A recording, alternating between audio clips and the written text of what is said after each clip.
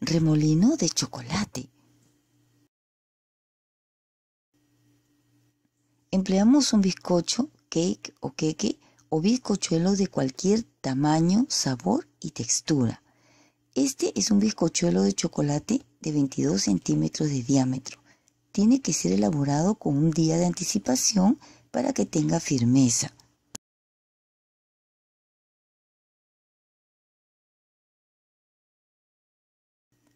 Lo colocamos directamente en la base o plato en que lo vamos a presentar. Aceitamos ligeramente la base y comenzamos a cortar en espiral desde afuera hacia adentro. Le damos el ancho que deseemos a las líneas de la espiral.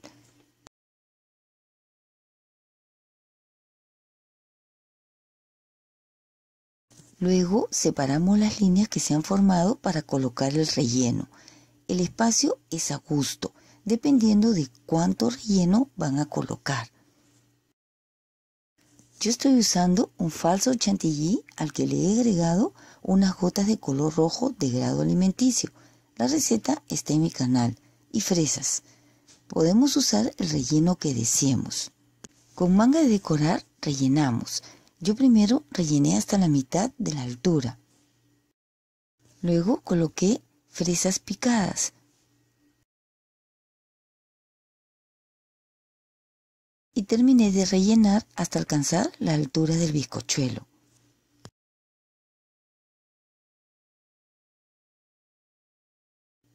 Ya tenemos lista nuestra torta. Si deseamos la cubrimos totalmente con el relleno que hayamos escogido. Yo la he dejado así para que el efecto de remolino se vea.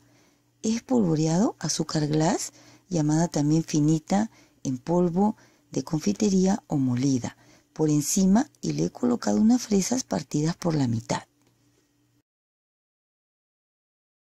Remolino de chocolate.